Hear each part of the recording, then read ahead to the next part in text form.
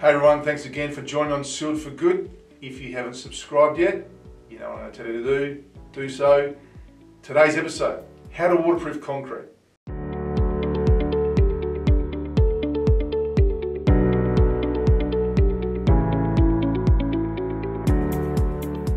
Okay, so let's go down the concrete path. This is a substrate that I think everybody in the building industry has worked with at some time or another.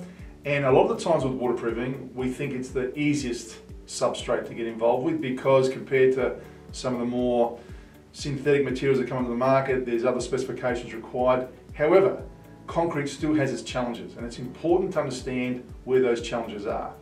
Now, firstly, concrete needs to be cured properly before you get on it.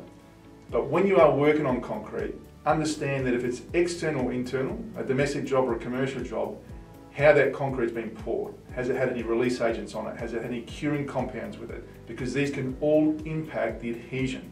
And understanding that is real simple. A lot of times it's just doing a water droplet test to understand that you can see the water absorbing into concrete. If the water's beading and it's not absorbing into concrete as quickly as it should be, then you know there must be something there to prevent that. So that's going to take a lot of the surface preparation works you need to do, whether it be grinding, pressure cleaning, blasting. Again, speak to the builder, understand what's happening because you might be there months after the concrete's been laid and want to know what has been impacting the adhesion of the concrete because if you can't adhere to concrete, I've seen the best of our membranes and any other membranes, liquids or sheets, that just peel up really easily because they can't get adhesion to the substrate. But once you've prepared concrete well, it's a real simple one to waterproof.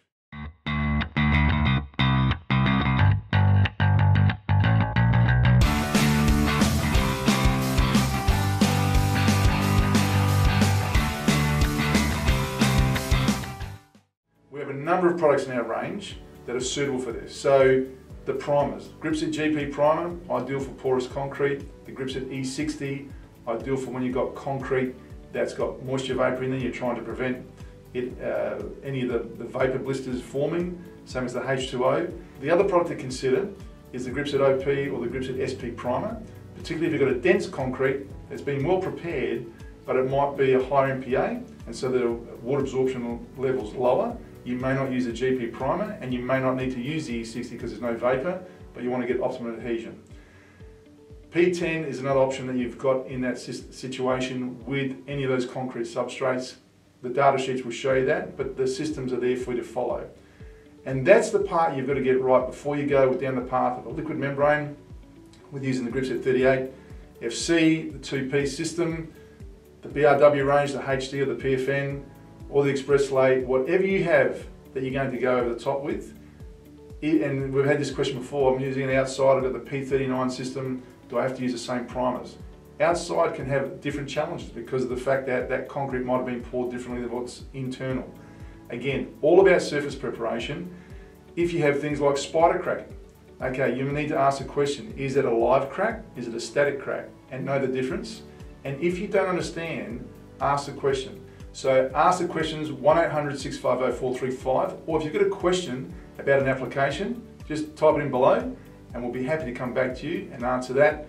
And if you need any of our team around the country to come and see you on site, give them a call. Until next time on Sealed for Good, I'll see you then, and remember, subscribe.